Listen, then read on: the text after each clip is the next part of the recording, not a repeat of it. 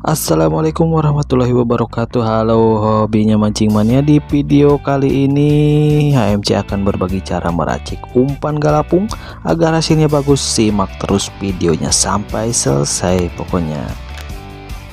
Oke sebelum ke cara peracikannya di sini saya menggunakan bahan-bahan seperti tepung maruci lalu ada tuna kaleng sunbel ya.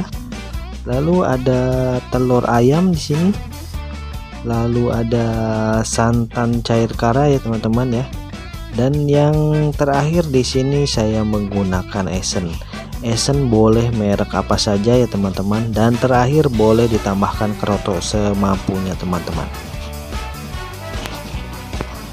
Untuk yang pertama di sini saya menggunakan cukup setengah kaleng sunbel setengah kaleng tuna sunbel ya teman-teman lalu akan kita haluskan setengah kaleng sunbel ya. Untuk yang mau pakai deho atau naho atau tuna kaleng lainnya silahkan ya. Cukup satu kaleng mu apa cukup satu sendok makan ya. Satu sendok makan cukup ya teman-teman ya. Satu sendok makan muncung pokoknya kita haluskan ya teman-teman ya. Kita haluskan sampai halus pokoknya di sini saya menggunakan sunbel ya saja ya teman-teman. Karena lumayan agak amis ini sunbelnya ya. Untuk selanjutnya di sini saya menggunakan telur ayam. Yang kita pergunakan di sini cukup putihnya saja ya. Yang mau pakai telur bebek juga silahkan teman-teman. Yang dipakai hanya putihnya saja ya. Diingat ya perlu diingat ya hanya putihnya saja ya. Oke sebelum ke cara peracikan umpan yang selanjutnya yang baru menonton channel hobinya mancing channel selamat datang saya ucapkan. Di sini hobinya mancing akan membahas tentang racikan-racikan umpan khususnya ikan mas ya teman-teman. Pokoknya tonton videonya ya lalu kita aduk-aduk ya. Kita haluskan pokoknya antara telur dan amisan tuna kaleng sambelnya ya. Oke dan saya ingatkan kembali yang belum subscribe silahkan subscribe dulu ya. Like share komen juga ya di hobinya mancing channel. Dan jangan lupa nyalakan juga loncengnya supaya tidak ketinggalan update video terbaru dari hobinya mancing channel ya. Lalu kita lanjutkan ke cara peracikan umpannya. Di sini saya menggunakan cukup 2 sendok makan santan cair kara ya teman-teman. Cukup 2 sendok.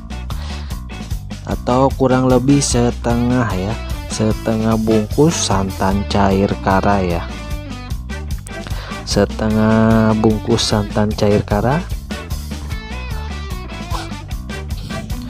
dan untuk umpan ini ya cocok sekali untuk galapung ya teman-teman. Karena ini uh, tepung maruci ini sudah terkenal ya terkenal untuk hobi apa untuk yang penghobi mancing galapung ya teman-teman ya.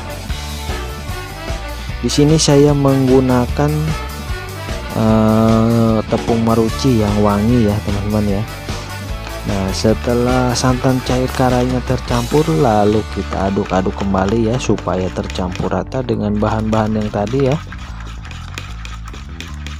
Nanti untuk tekstur terakhir umpan ini akan lembek ya teman-teman ya. Nanti di empang eh, teman-teman uh, bisa menggunakan kobokan yang berisi air dalam pemasangan umpannya. Lalu untuk selanjutnya di sini saya menggunakan esen ya teman-teman ya esennya kita campurkan langsung.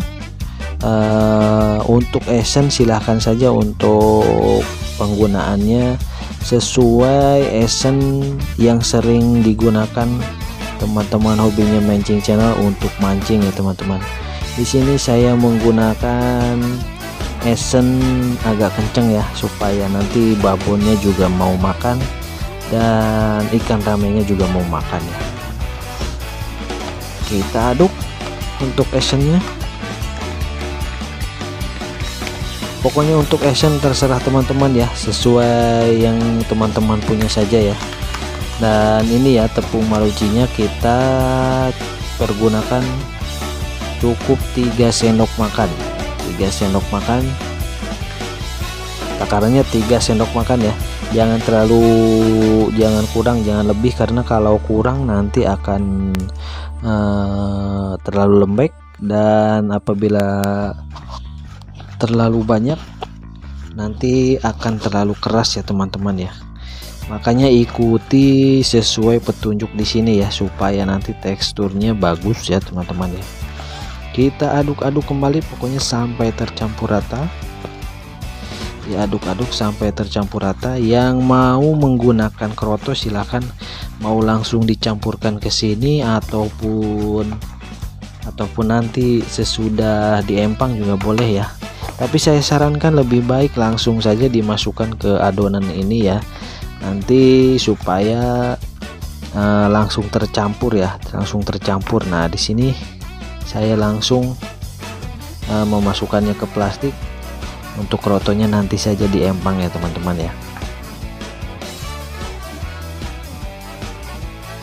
Uh, untuk takaran ini cukup ya teman-teman. Untuk 3-4 jam biasanya kan galapung 3-4 jam cukup. Uh, kita pergunakan dua kail. Dua kail cukup biasanya. Untuk satu kail biasanya uh, uh, ada lebihnya ya teman-teman ya. Nah ini sudah saya masukkan ke plastik untuk proses selanjutnya kita rebus atau kukus ya teman-teman. Kurang lebih 20 menit. 20 menit saja. Jangan terlalu lama dengan api sedang ya. Jangan terlalu besar apinya.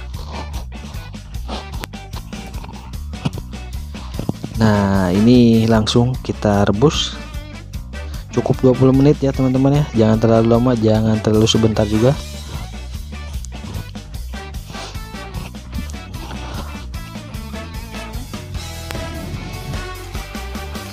dan ini sesudah umpan yang sudah saya uh, campurkan ke roto ya teman-teman ya. Langsung kita tes umpannya di empang galapung ya di empang galapung. Uh, ini durasi waktunya uh, 3 jam ya. 3 jam. Nah dan ini saat pengocokan ya teman-teman pengocokan lapak. Kebetulan hari ini hari libur. Uh, lapaknya lumayan agak banyak ya ada 30 lapak mudah-mudahan ikannya mau makan ya teman-teman ya. Yang belum subscribe ayo silahkan subscribe dulu hobinya mancing channel ya. Yang setiap minggunya nanti bisa berbagi cara racikan umpan ataupun aktivitas um, uh, memancing ya. Mancing harian mancing galapung dan lain-lainnya. Uh, khusus ikan mas ya teman-teman ya. Khusus ikan mas uh, mudah-mudahan uh, channel ini bisa bermanfaat untuk teman-teman khususnya penghobi mancing ikan mas ya. Dan jangan lupa subscribe dulu subscribe hobinya mancing channel su karena subscribe itu gratis ya teman-teman. Terima kasih yang sudah mau menonton. Uh, semoga anda semuanya terhibur. Uh, tunggu video-video lainnya di dari hobinya mancing channel Terima kasih. Assalamualaikum warahmatullahi wabarakatuh.